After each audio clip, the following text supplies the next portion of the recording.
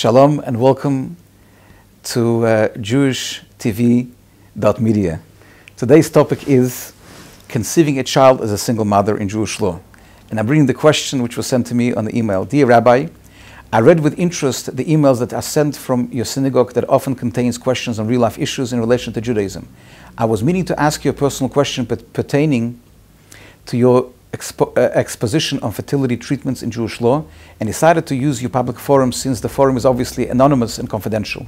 If you feel that I have to, I have to discuss this personally, please let me know. I'm a 34 year old observant Jewish girl and aspire, like anyone else, to have a family, a husband, and children. Unfortunately, I haven't met Mr. Right. I'm confident that it will happen, but worry that by the time it happens, I will be too old to have my own children, since a woman's eggs have an expiration date. Does Judaism allow for me to take advantage of a sperm donor in such situations in order that I will be able to have a child? Looking forward to your answer. Lisa of Rose Bay.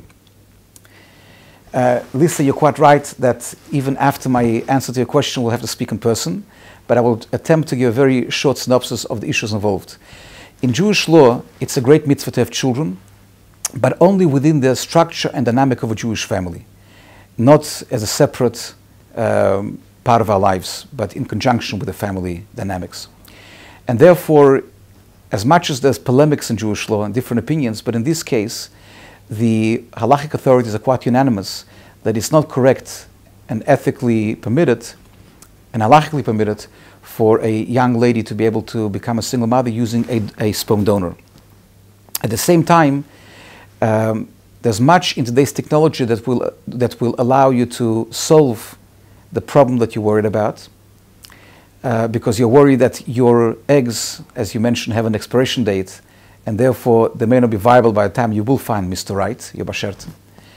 And today, what one is able to do is something quite revolutionary, because once upon a time, it was possible to successfully freeze only sperm and embryos.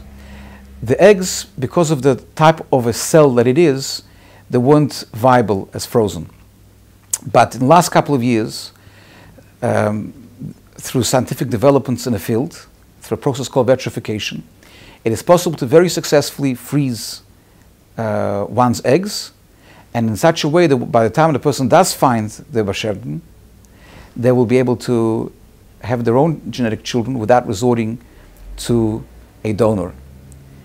And um, I want to be able to say that uh, I mentioned in the, in the previous talk that there are uh, halachic ways that's being done through proper rabbinic supervision.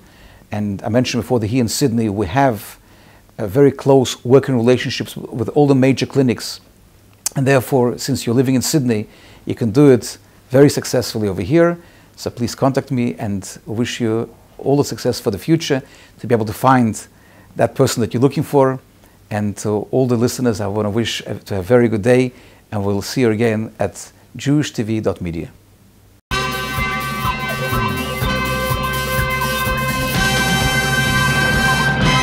JewishTV.media